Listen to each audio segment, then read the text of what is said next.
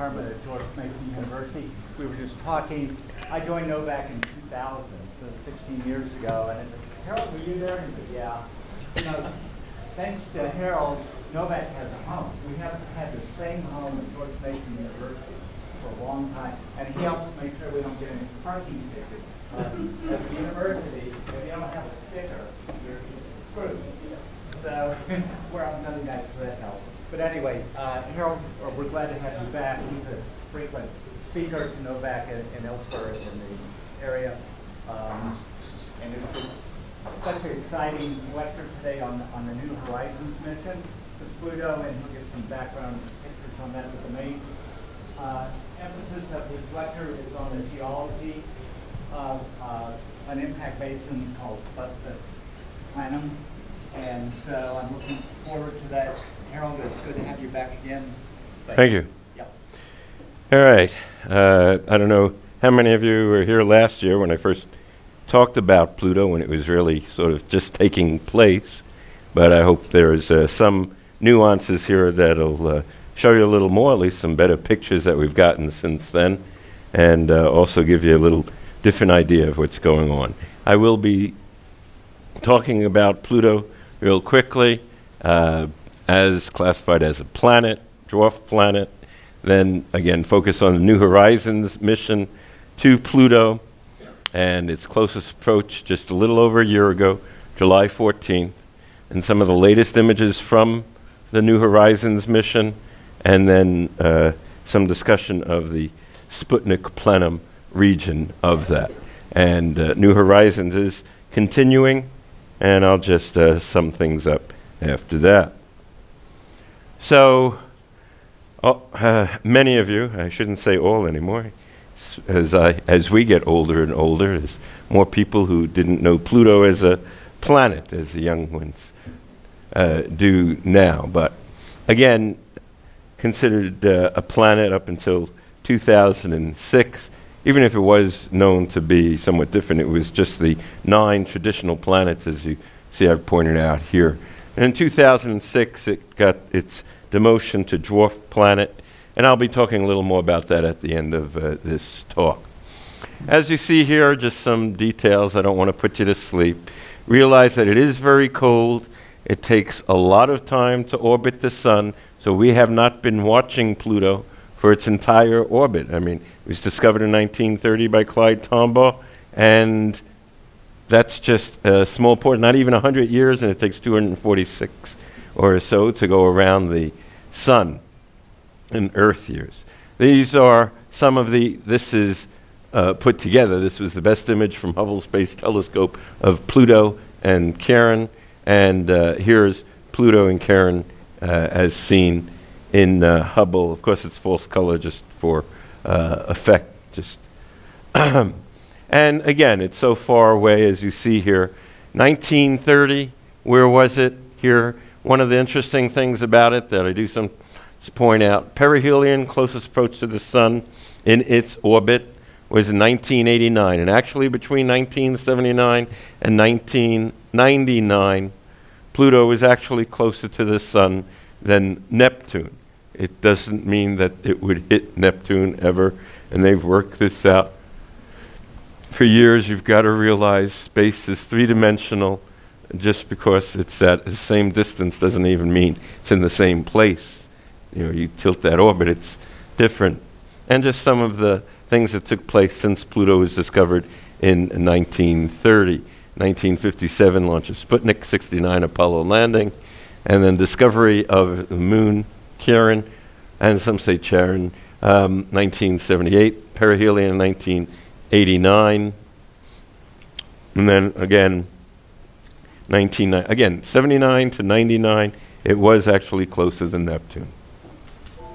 This is a comparison of some of the like uh, celestial objects, comparing the size of the Earth to Mars, Moon, Ceres, which is another dwarf planet, Eris, Charon, and Pluto here.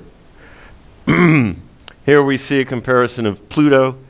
Yeah, if you could, uh, and again, it is spherical, of course, but as far as the diameter of Pluto would take up most of the, uh, from Midwest to all the western portion of the United States, and there's Charon. And Pluto, having been uh, talked about as a name, in the upper left you actually see there was a stamp, not yet explored, 29 cent stamp, the USA. And you know, just this May, they released, I have the uh, first day envelopes and stamps showing the Pluto image, full Pluto, and New Horizons. I think you should be able to still get these at the post office. and look for them. And uh, I think online they may still have some of the uh, first day envelopes if you were interested. You know, I can remember as a kid collecting stamps. And uh, I know, I, I, don't know of many kids who do anymore, but I thought that was a neat way to uh, spend some time, uh, you know, with my father and looking at the stamp collections and also my brothers. Uh, they just uh, don't do that these days. Everybody's with their own uh, computer playing games or the like. Pluto, of course, is also the name of the Mickey Mouse's friendly dog there. And uh, this is actually a guinea pig that I had that I named Pluto during the duration. He was still alive when the New Horizons mission got to Pluto. And Dr. Summers and I actually co authored a children's book where we talk about Pluto the guinea pig, and make some comparisons to Pluto the, Pluto the dwarf planet. And here you see the uh, orbits of the five moons uh, Pluto and Charon, and then uh, Nix and Hydra, and Kerberos and Styx. So there are five known moons of Pluto, uh, nothing compared to uh, Charon or Charon. And I really, uh, Alan Stern, many people know he's the face of the New Horizons mission. He's also, uh, in my opinion, a very nice guy.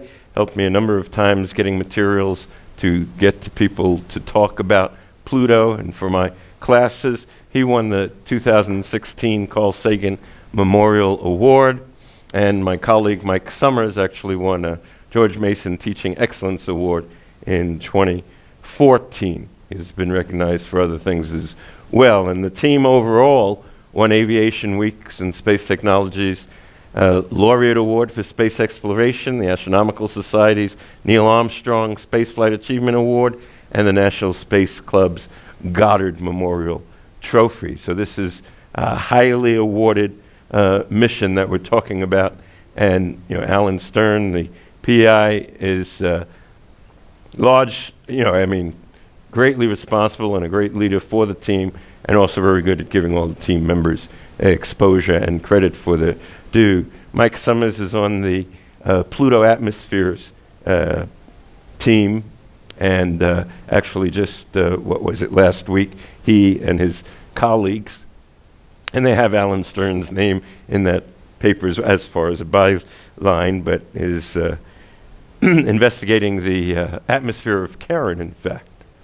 Launched in 2006, so obviously it took a long time for this uh, spacecraft to get out there, and yet it ranks as the fastest flying spacecraft that human beings have produced. This is a picture of the takeoff. You can see the whole video online. Here is a shot of the uh, spacecraft in the uh, nose furling where they have it enclosed, and that's how it was set up. And this is the spacecraft with its instrumentation on its way. This is a trajectory. This is the uh, uh, where exactly it was passed in April of 2016, past Pluto and on its way to a Kuiper Belt object that it is going to continue its mission. Here we see, you know, we just have been talking about this hurricane that passed by. So here's a bit of a comparison. This is, you know, not exact, but should be close to how the Earth would compare to the great red spot of Jupiter in size. And here we see 2005's Hurricane Katrina, just to give you an idea of size. It's just amazing to think that over two planet Earths can fit across the diameter of the great red spot, which is basically, that, you know, they like to say a hurricane in the atmosphere of Jupiter. Uh, compared to Katrina hurricane, I mean, here's the uh, Central America, This wasn't taken this, oh, this is Africa, excuse me. Um, this wasn't taken the same day, but you can imagine this is enormous. This is just comparing the Earth to the Great Red Spot, and that's comparing uh, Katrina to the United States. Remember how big uh, that is. And here we see, taken again, the Earth compared to the Great Red Spot, and Katrina to scale. Okay? So here actually is when it was forming, and right here, this area, which you know is puny compared to the great red spot of Jupiter. Again, it's the same physics associated with these systems. New Horizons also took an image of Io. This is, not, this is the image taken by New Horizons. This is an image by the Galileo spacecraft, if you weren't aware. Io, a significant sized moon of Jupiter, the innermost Galilean moon, is the most volcanically active uh, surface in the solar system that we're aware of. I still remember that day in 1979 when a uh, grad student um, was uh, on uh, duty and took a look at the pictures coming in from the Voyager spacecraft and got to see the uh, first plume of a volcano on something other than the Earth. It was just incredible. Um, and again, these are pictures of Io. This is a close-up by the Galileo spacecraft. Just incredible active surface. And here you see, it's not really a video, it's time-lapse. Took many pictures, the New Horizons spacecraft, as it passed by, and there you see a volcano erupting. And you know, to me, that's a great thing. And I uh, could imagine if you're a geologist and for the first time you see a volcano erupting on the surface of an object other than the Earth. This is a time lapse of images taken by the New Horizons spacecraft as it was approaching Pluto. and here again we see uh, time lapse imagery from 2015 as it's approaching. Remember, close, close towards July. These are images from April 2015, just um, anywhere from 70 to 80 days away from the close encounter with Pluto. And it also highlights Styx, uh, Kerberos Hydra, Nix, and Styx. and that's just a freeze frame of that. And here we see on July 1st the uh, New Horizons spacecraft able to take a wide field of view image of the uh, system. And as we see, oops, gotta be careful. Um, Pluto and its largest moon, Charon or Charon. And this is just trying to give you an idea of the mapping. Here's where the heart is, as we call it today, and its orientation from July. What was that? And this is just giving you an idea of how some of these are put together to give you, you know, Ralph gives you a natural color. The reflectance is better measured with the LORRI instrument. And so you combine the two and you get a better contrast of where there's, you know, the um, plain regions and mountains and the like.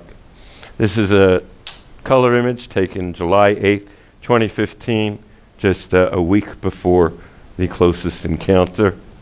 Here's a black and white image from July 10th. And here we see July 12th as we're getting closer. And they were already beginning to pick out features, and it was very clear by this time that Pluto was going to be anything but a boring surface. Charon also, I'm not going to focus as much about it, but there are differences there chasms, polar region, impact craters. Even Pluto, as a dwarf planet, has so many of the same features that we uh, compare to our own Earth and other terrestrial planets, even though it is very different as a icy planet. I'll be talking about that as well. Here we're getting close to the closest encounter. This is July 13th, Charon, so it's already there. This is false color highlighting certain features. There's a region of the heart, and this is Sputnik planum, in fact. And the colors are for different chemical constituents, and I'll talk about that as well. So July 14th, 2015, just a little over a year ago, and uh, as I pointed out in the um, the Alcon conference, for those of you who were there, I talked about July was the 40th anniversary of the landing of the Mars Viking lander on the surface of Mars, and of course, uh, Neil Armstrong taking footsteps on the moon in uh, July of 1969. A lot seems to go on in the summers. This gives you an idea of the orbital path of the craft around uh, through the plane of Pluto and Charon. And now I got to go back up. So, what were we hoping to learn? There were a number of things that we really were trying to figure out. You know, chemical composition, you do that through spectroscopy. Uh, types of material, so only ices, or there's also rocky material there.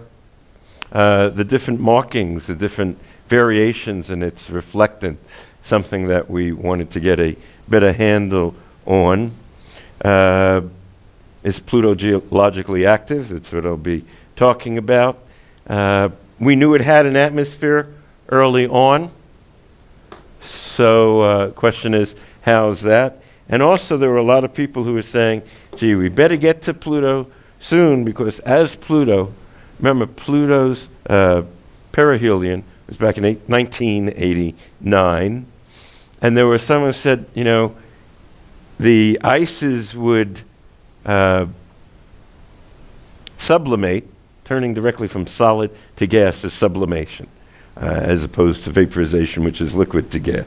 So the ices, the icy material would sublimate as it got closer, and probably you had the maximum atmosphere just around 1989, 90, 91. But as it gets further and further away, it gets colder, and the atmosphere is literally going to deposit. When going directly from gas to solid, it's called deposition.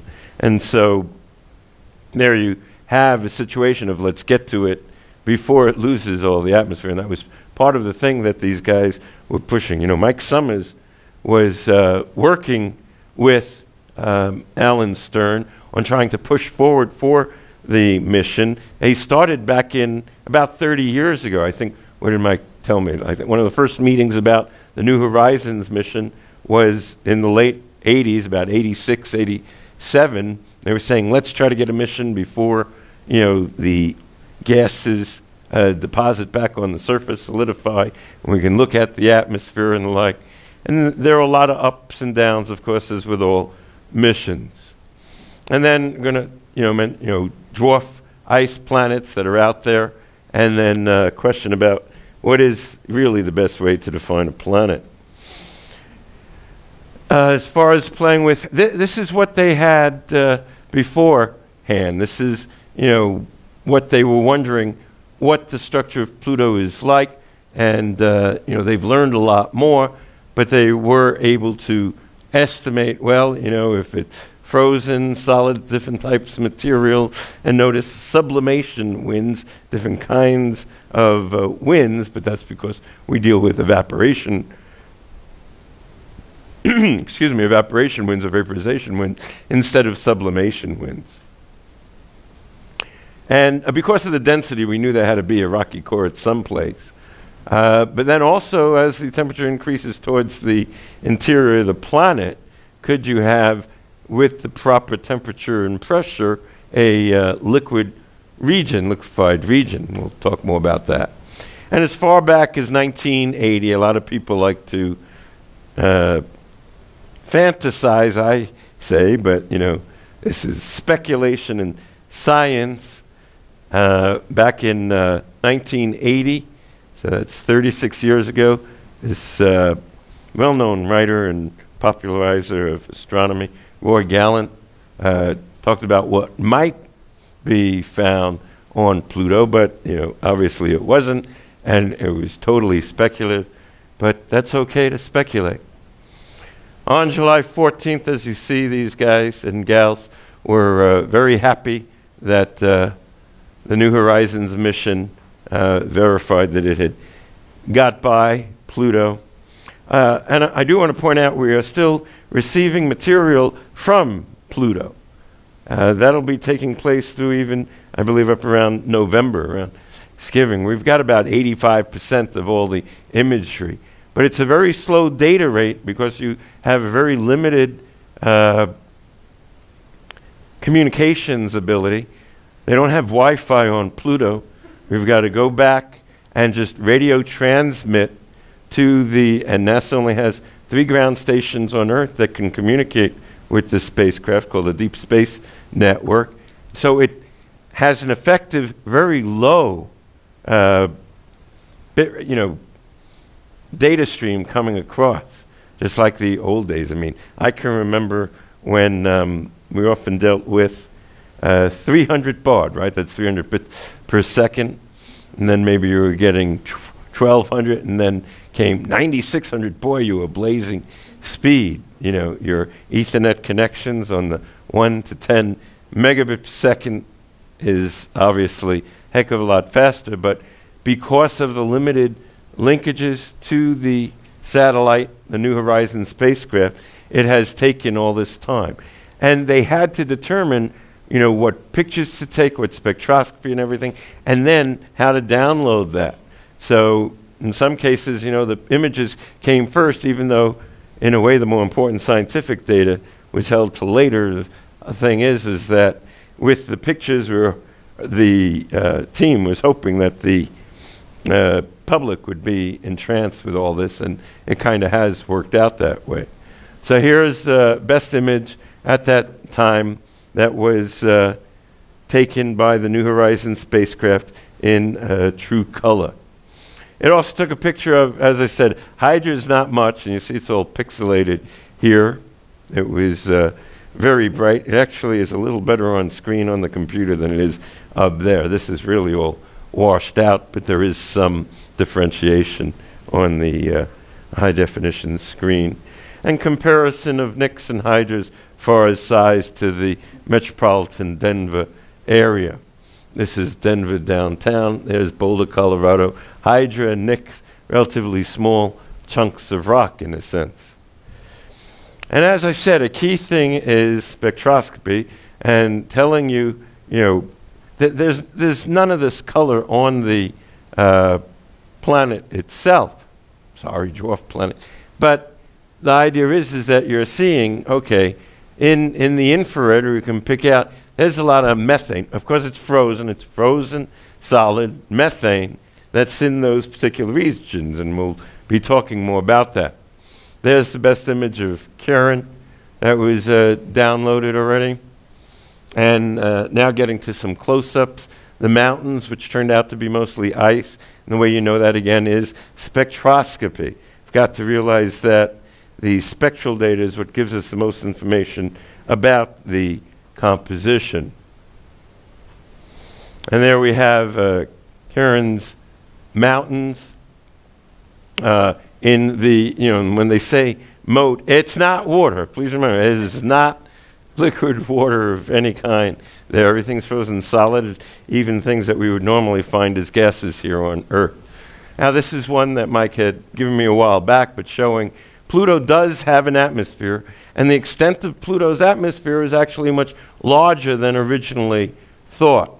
They thought the atmosphere, a lot of nitrogen, going out about 170 miles, but a small part of that goes out almost 100, not 100, 1,000 miles, very loosely, you know, gravitationally bound to the planet. In fact, Charon is swept up in some of this as it gets some of that nitrogen gas trapped in its own gravitational well. So some interesting playing going along here.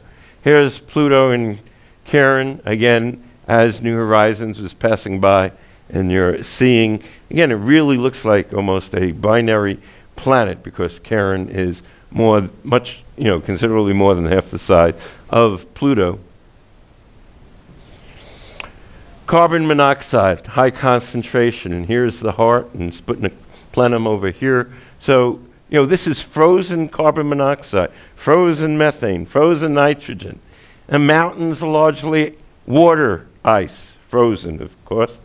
And, you know, that's incredible and very different than anything you're going to find here on Earth and different than any other uh, region of our solar system. There was also the shock bow of you have a Pluto with the nitrogen atmosphere traveling through space, and you have this solar wind with charged particles. That's what the solar wind is coming by, and we're trying to pick up the uh, interplay between the solar wind and this atmosphere of Pluto. And here's a central region of the heart as taken, and here, see, this is 20 miles. As you see, some of these, this whole region is one, two, three, four, five, six, seven, eight, nine, about, you know, it's a little under 200 miles, about 180 miles going diagonally across. And you see this uh, formation that looks like at one point there was frozen material that was floating in there, and that's obviously what happened before it all just froze solid. And again, want to note that these mountains were determined to be largely water ice. So it's almost like having an iceberg that now is frozen in place within a, to the right, this is largely uh, nitrogen, there's carbon monoxide, and um, just about everything else is frozen. We'll get to some of the more interesting aspects of the surface of Pluto there. Here's Nix and Hydra again, not well uh, delineated just because of where they were in their orbit as the New Horizons spacecraft passed by. They weren't in an ideal situation in order to uh, catch the image. So this is Nix and Hydra. Again, true color image, very uh, good resolution on that. And as far as if you use a Mercator projector projection for a map, here you'll see the features. and you see here's the uh, Tombaugh region is that whole region of the heart, and the southern portion of that is Sputnik Planum, which I'll be talking about in a little more detail.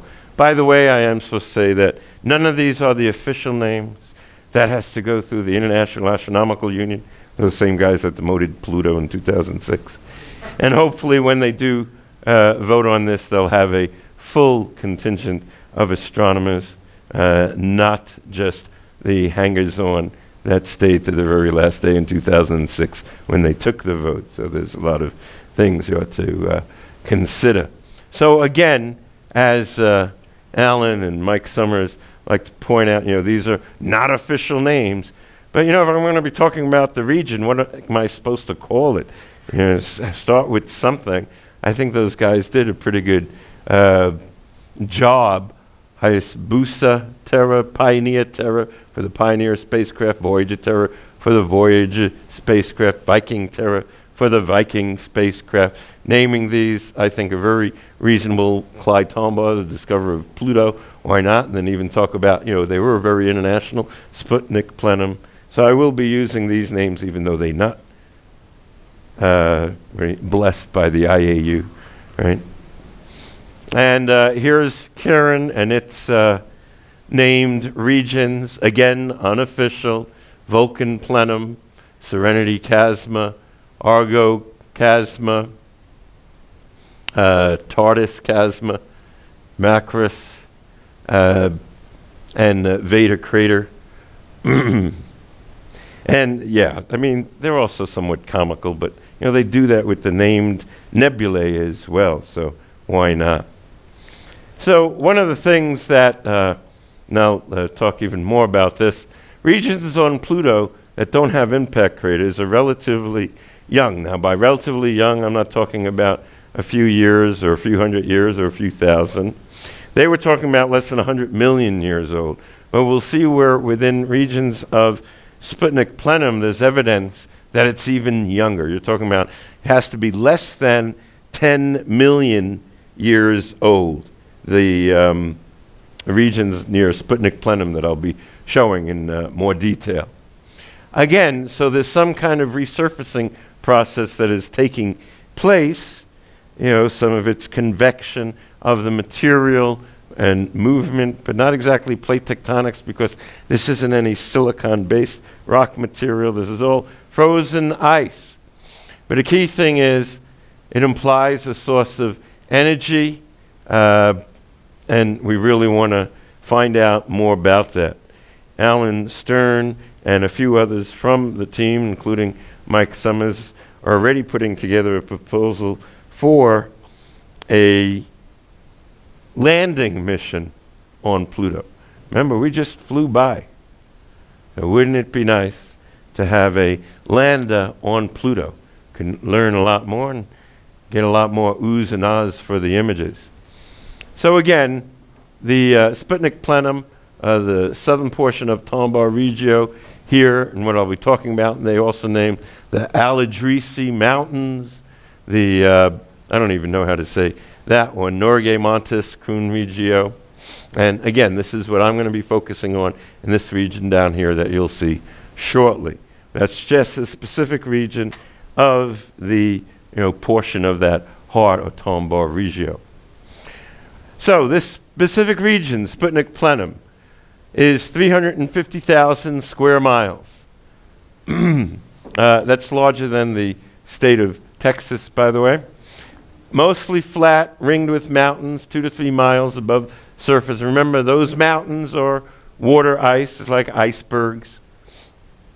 Uh, probably the remnants of an impact basin and uh, an ancient collision. It's a hundred, uh, oh, a Kuiper Belt object that they estimate was 100 miles across. We do this estimation by the amount of energy you would need, you would need to create that uh, diameter region. On that whole Sputnik planum region, remember this is you know the size of you know greater than the size of the state of Texas. You're looking at no detectable craters. This is what tells us uh, this surface is really young. It's got to be less than 10 million years.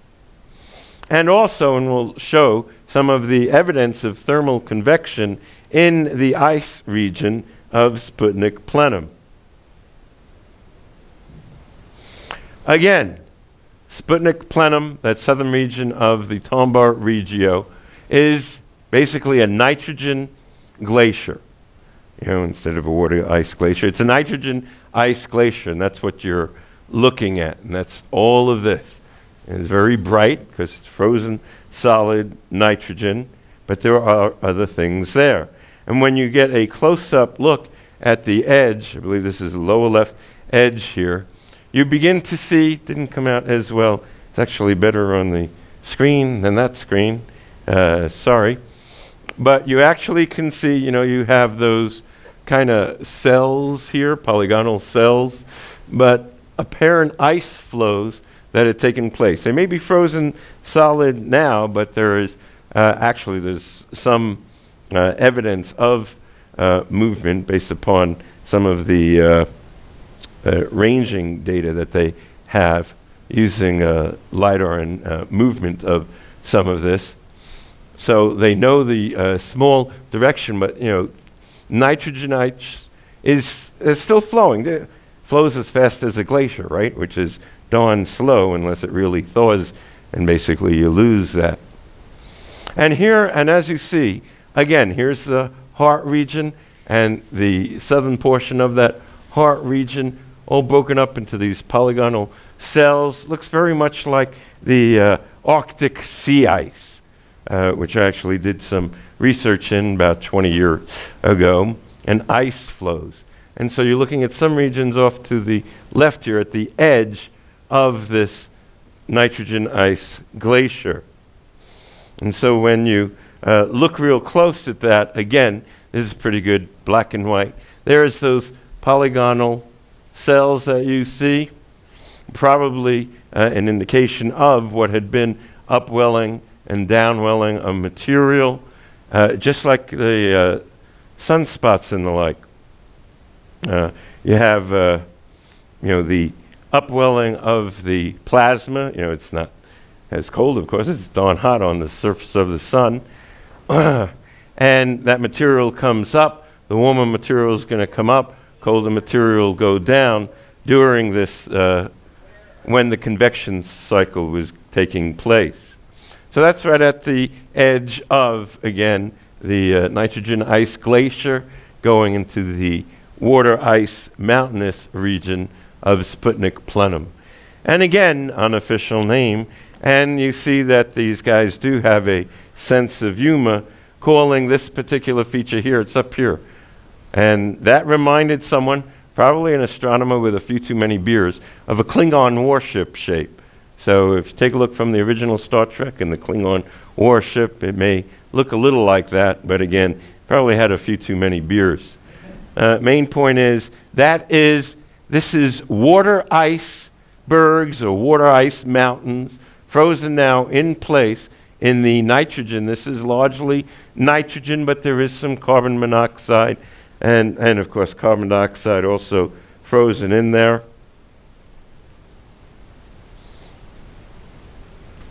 Yeah, that's what I want next. And this, again, resolution here isn't quite as good as what's on the computer screen.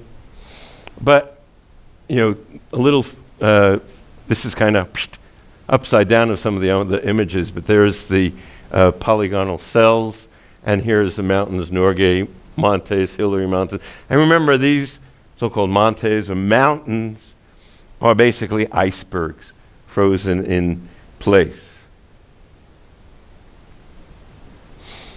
And now, with color imagery and some spectroscopy, it noted that there was this reddish ejecta from certain regions, and also this material. You know, this is an unusual thing. What kind of volcano do you have? This is not a geologic volcano like even on Io or the Earth.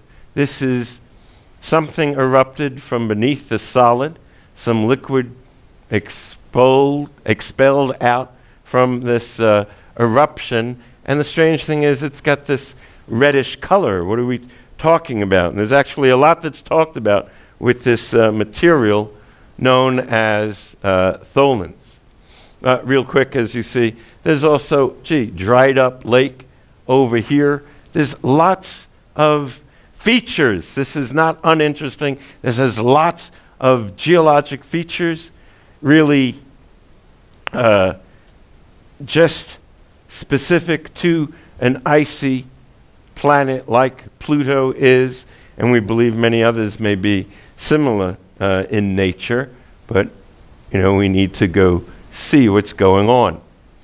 And here, you know, this region here, close up here, and you see, you know, what kind of valleys are this? This is not going to be water ice. And in fact, none of the material will probably flow in a liquid form based upon the temperatures and pressure that we have record for on the uh, surface of Pluto. So these would be like uh, rift canyons. Uh, in other words, you know, the Grand Canyon is a river canyon.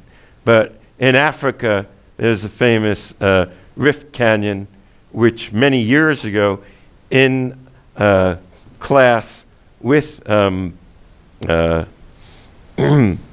Oh, Mike Summers was teaching that class when I was a grad student, and I compared the Rift Canyon in Africa to the Valles Marineris. Valles Marineris is not a river canyon, it is also a rift canyon. But the whole idea is so this is indicative of really, well, this is tectonics, not taking place now, but in the past, obviously, the crustal material was faulting and bumping along just like our tectonic plates do today on Earth, but this is, you know, billions of uh, years ago, perhaps on Pluto. We also uh, talk about snow-capped mountains, but please understand that is not uh, that's not ice snow. That's not water ice, and I'll show you some of that a little more uh, defined shortly. Back to this. Actually, got a little out of order. I was trying to talk about that reddish colored material. It's called tholins. It's actually a type of organic material that was first named that by Carl Sagan and his team back in the 60s when they were looking at a uh, material accumulated through their rendition of what's called the Urey Miller experiment, which is trying to simulate the early days on Earth and then see if you can create some complex organic molecules. Another misunderstanding is people say, oh, Urey and Miller were trying to create life from non life. No, they were trying to show that from simple inorganic materials, you can develop complex organic materials. And they succeeded. And we believe all of that red veneer is what's called tholin, so there's a lot of organic material. And um, here you see when Sagan, this is from the 1979 article, when Sagan and Bhushan uh, put forward this tholin definition. Uh, complex organic solids for mixtures of methane, ethane, ammonia, water, uh, hydrogen sulfide, and the product synthesized by ultraviolet radiation light discharge, which is part of, if you go back and look at the Har- uh, Urey Miller experiment and how they tried to simulate the original atmosphere of the Earth and then bring forward organic material, which ultimately would uh, become part of life. And here, so they propose as a model-free descriptive term tholins, and they even came up with, you know, that's Greek for muddy and also for vault or dome. So they have this all laid out. And the name comes from 1979, but it's real neat that now, here, uh, almost 40 years later, we're using it extensively for material that was formed not on Earth, not through special experiments to show that organic material can be created from inorganic uh, material, but actually on the surface of Pluto. and this is one of the more recent publications, just this year, that came out looking at the uh, Sputnik Planum uh, region, and this is the Al Idrisi Mountains in the northwest of that region. And uh, unfortunately, the um, caption didn't come out, but you know, explaining the different regions. Remember again, the uh, mountains are largely just water ice, like ice mountains that are there in that region. and uh, right here, you're looking at nitrogen. And then, you know, it was defining what it was uh, discovering in the other regions that it was able to determine spectroscopically. And let's see, did I miss something? There, it's working now. All right, and here we see east of the Sputnik planum to the east. They're also looking at, well, gee, there's even gullies here. How did those gullies form? One of the questions. Pitted uplands, glaciers, bladed terrain. How did all this take place? This is, you know, material that'll be studied for years. For years, we'll be able to be looking at this, and hopefully, maybe we'll get another mission so that we can even learn more, get more of an up close, and do some. And what they're hoping to do with land, of course, would be some uh, in place, right there, not uh, remotely, but grab some of that material and do the analysis just like the Curiosity rover or the Viking lander back in 1976, grabbing soil and then doing the chemical analysis. And here we see some of the other features, washboard regions, they're called, dissected terrain, mountainous, alpine, they came up with fancy names for this, plateau region. And here again, there's Sputnik planum, and here we see what is the plateau, alpine region, washboard terrain, fluted region, dendritic. You know, these uh, fractures, which certainly indicate that, you know, some major fracture took place, then materials sloughed down. What are these uh, conditions and why did they take place the way they did? And also from this uh, paper uh, just published a few months ago about the Sputnik Planum region. as you see, we're talking about uh, mounds with depressions and summits. And you have to look at the altimetry. This is elevation scale. This is colored for elevation.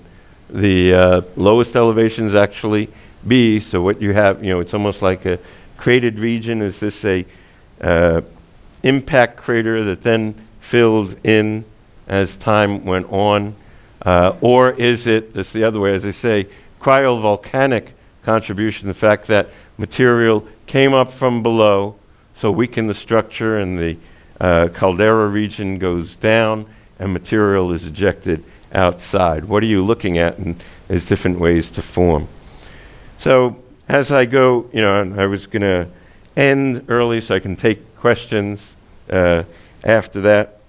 and uh, let's take a look at here what New Horizons is doing after Pluto. And it is uh, commissioned to go forward and look for a Kuiper Belt object. And here is the, uh, well, later one, 2006 launch, flyby Jupiter 2007. And they actually did a burn in December of 2015 that would give it the trajectory towards this PT1 is where it's going, mid 2018 to 2019, if all goes well. And this is the New Horizons image. It's a time lapse photography, it's not a video really. The green is around the PT1, which is what it's aiming for at this point. As far as the size of PT1, here's the, uh, uh, what's the bay in Massachusetts?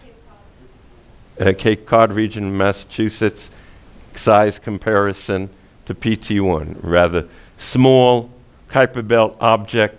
The idea is to try to learn more about it. Notice how, I mean, here they basically shape it like a marble. Highly doubt that that's the way it is. What we're saying is a lot of us believe it'll be a rather interesting, solid surface, but, you know, with things that would point to some activity when it formed. So as far as the question, everybody's favorite, even though it's the silliest thing there is, because it doesn't matter what you call it, it still is there. It's got lots of features. It has a geology. It has five moons. It has weather. It has an atmosphere. And one of the problems of, you know, saying, well, it's not a planet is, you know, we talk about extrasolar system planets, exoplanets. Th there are some exoplanets that share the same orbit as best we can make out. By this definition, they wouldn't be called planets. So maybe I shouldn't call them exoplanets, but something else. It just all gets very muddy when you really get down into it. So it's all just a silly uh, gambit, really. Yeah, Pluto is small. And there were a number of people who didn't want to include Pluto beforehand, but they never made as big a deal of it as Mike Brown did, who basically wanted to say that he discovered uh, Planet Nine. Uh, he's in part of this uh, new Planet Nine thing. So there's a lot of, um, you know, politics and ego, and you know, I want to be such and such. Uh, and true, it doesn't fit uh, terrestrial or the gas giants. Uh, most of, um, now, Uh, you know, it's hard to say numbers. But I can tell you, as far as you know, Mike Summers and I, you know, Alan Stern just wants Pluto reclassified as a planet at this point. He, he wants, you know, after all, you know, spend all this time, let's explore the ninth planet. Yeah, that was Pluto. And then after it launches and it's on the way to Pluto, oh, we're going to say that it's not a planet anymore. So he's real ticked off, and there is some bad blood between him and Mike Brown, say the least. But Many of us feel this is all silly, and what we should be doing is focusing on the fact that there's really three classes, excuse me, three classes, excuse me, one sec. Three classes of planets in our solar system.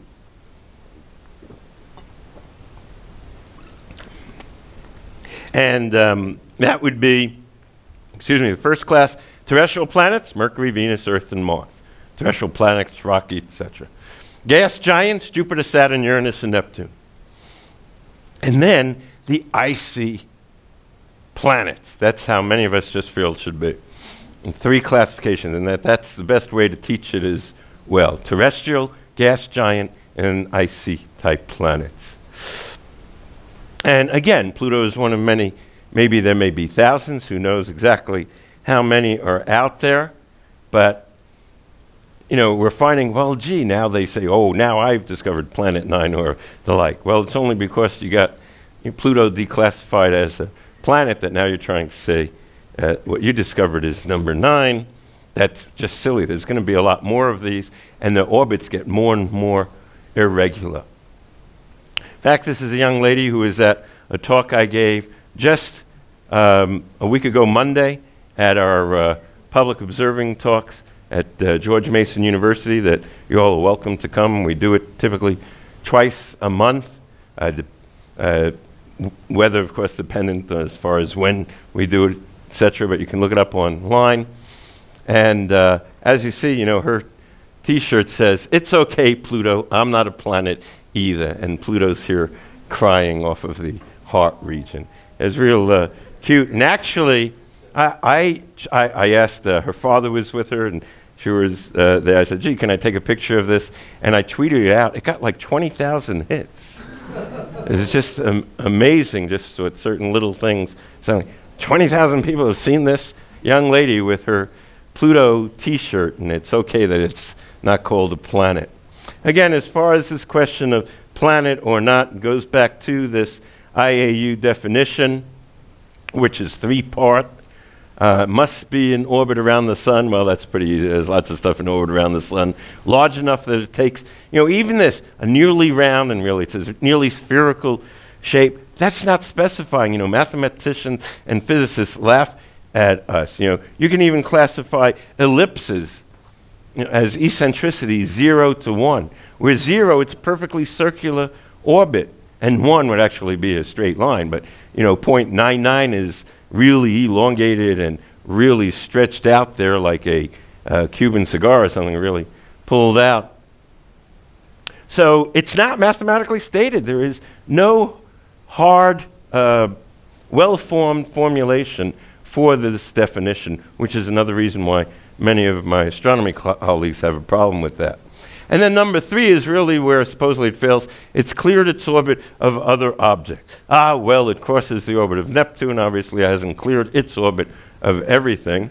Well, it's also a lot smaller than Neptune. But one of the problems that you have that Mike Summers will point out, and here uh, it says, you know, Pluto revolves in an orbit that, well, the orbit, when flattened on a plane, intersects that of Neptune. I told you, in three-dimensional space, it never actually intersects. Yeah, it's three dimensions. You got to think in other than two dimensions. But if you flatten them both out, you know, you see, ooh, it's and as I said, between um, 1979 and 1999, Pluto was actually closer to the sun than Neptune.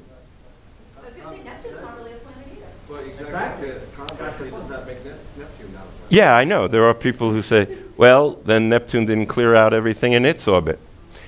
But, you know, another thing is, Mike points out, if you put Earth in the orbit that Neptune is, then it wouldn't be called a planet. And so just doing it by that is just, well, in his view, and many others, uh, silly. Th they really need to redo the definition. And I will tell you that, you know, the committee set up, there were like seven or nine on this committee that was set up originally to look at it. They actually did not come up with, you know, um, decrease the number of planets. They wanted to increase. They wanted to call Ceres, which is now a dwarf planet, and Pluto. They wanted there to be 11 official planets of the solar system, and then the other objects. But their desires were also ignored. So you see, there was a lot of politics. If the recommendation of the committee that was set up to look at this, if their recommendation is ignored, then, you know, what's going on, people? So this is, as I was saying, terrestrial planet zone, giant planet zone, and then, you know, this third zone of icy dwarf planets.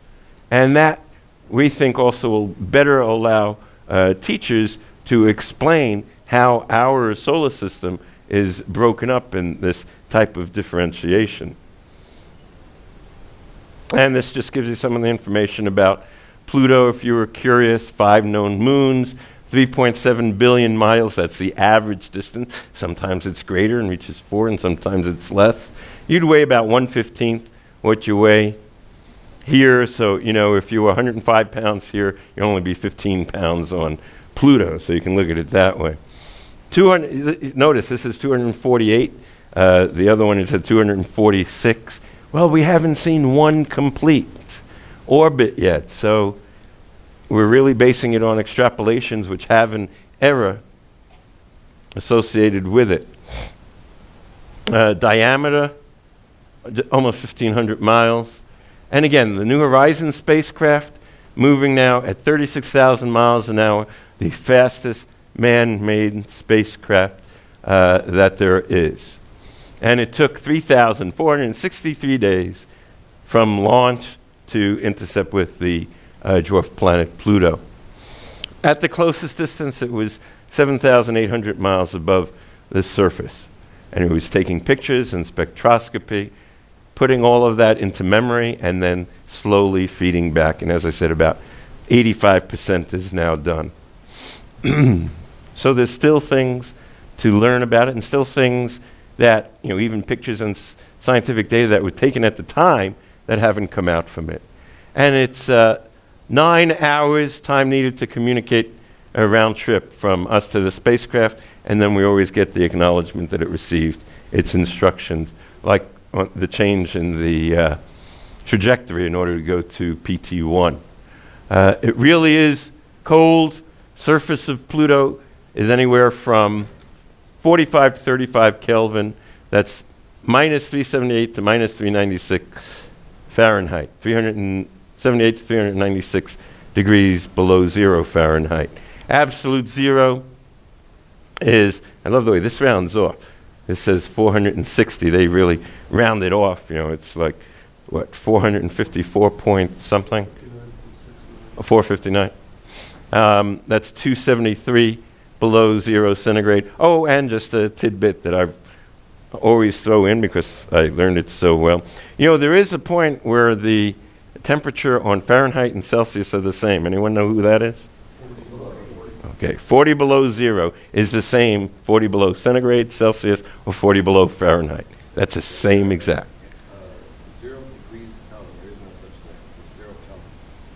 Yeah, today they just use uh, Kelvin. Is there's no degree needed for that because of the uh, nature of how that's defined. And here you see some information about the moons, Charon, Nix, Hydra, Kerberos, and Styx. Uh, the other four, Nix and Hydra. If you didn't uh, realize this, gee, who discovered this? Nix is with an N, Hydra H, the New Horizons spacecraft. That's why they have picked a name with an N and an H. And then Kerberos and Styx. And as far as long road, yeah, I was uh, about right. What we're talking about, well, it was 1990 when NASA sponsored the first. And as I said, Mike Summers was working with Alan Stern, I believe, beginning in like 1987, and looking at what they would do for a mission to Pluto. And what will it do uh, for us? Not only teach about the moons and its orbit, what it looks like, possibility of what's going on beneath the surface of both Pluto and Charon, and the craters of Pluto. And uh, at one point, some thought that it might have a ring system, and it turned out not to be the case. a few years before, about 2009, 2010, there was an article appeared in uh, Astrophysics Journal that um, you know they ran a simulation, and it is possible for Pluto to maintain a uh, ring system of some kind. Well, didn't pan out, but that's the whole point of experimenting versus just looking uh, or just uh, playing with your computer models and said, well, this is possible. Well, maybe possible. That's not the case. And here we just see the uh, comparison of speeds how fast different objects go versus a human being at three miles an hour or running, you know, those that are doing the 100 yard dash, 100 meter dash, excuse me, you're looking at about 27 miles an hour. Horses can go 50 miles an hour. Cheetahs, 70, but only for a short time. You were wondering. There are uh, antelope and uh, other type that can run at about 60 miles an hour for a longer period of time because they're prey and they have to escape. But the cheetah can, you know, go real fast, pick up on some of those. Peregrine falcons have been clocked at up to 200 miles an hour. Because they've got an advantage flying through the air. Jet planes, speeding bullet is about 1,700 miles an hour, if you were wondering. The space shuttle, which no longer exists, was 18,000 miles an hour. And again, New Horizons, the fastest object, fastest man-made spacecraft that uh, we have built. And again, looking towards the future and what's going to take place, we have the uh, New Horizon sending back its data and information of imagery and uh, data that it took as it flew nearby, again about 7,000 uh, miles above the surface, which is why, you know, it'd be neat if you had a uh, Curiosity-like rover down there and able to take the time and look at this, and an orbiter like the Viking orbiter had as well. And here we're just looking at the various instruments.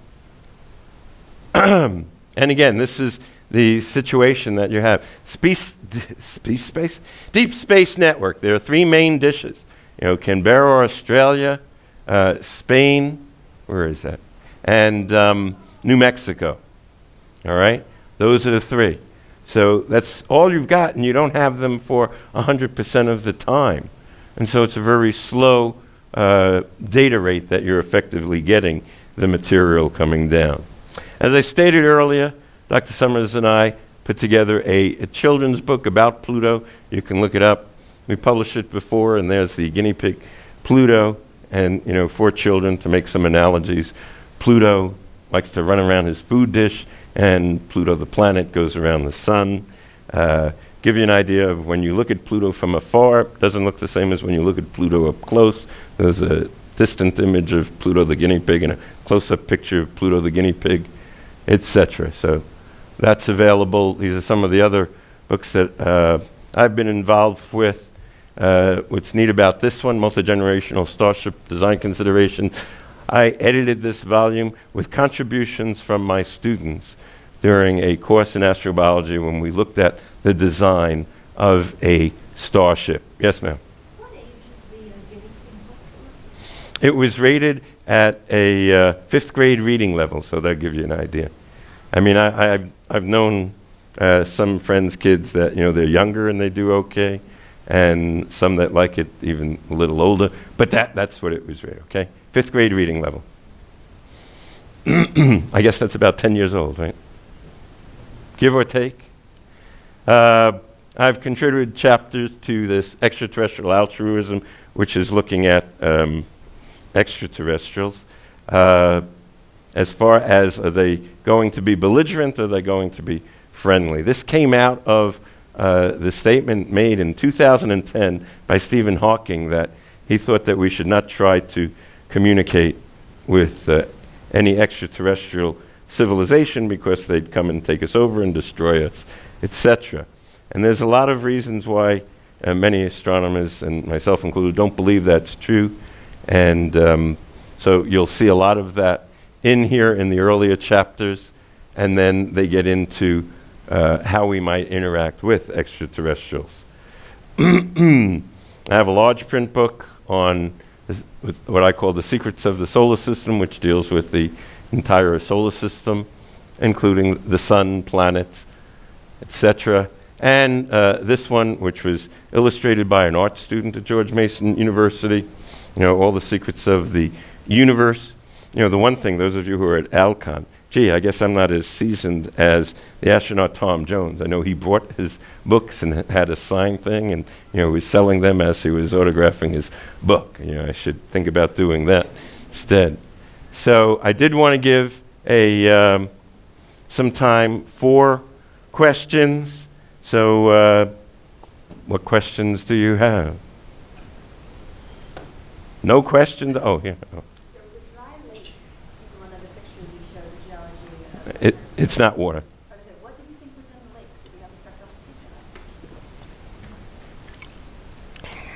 Yes, I believe we do. It's nitrogen. it's now frozen nitrogen, but at one point that apparently did flow, of course. So nice warm. It was like, So cold warm, of course. Yeah, I know you know that, but uh, yes, sir. Any thoughts on the source of methane? The source of methane? Right, you mentioned That, methane. that methane is found naturally, uh, even in. Um, No, I get that, but how did it get there? how did it get there? deposit at the time of the formation of Pluto. And, or in certain regions, why are there regions that are more concentration than others? You have comets that go in there that have methane as well. So, in very early on, four billion years ago or so, both of this, you know, it's starting out with some methane, it's being pounded by methane impactors, those that have methane and are differentiated and concentrated in regions. Yeah.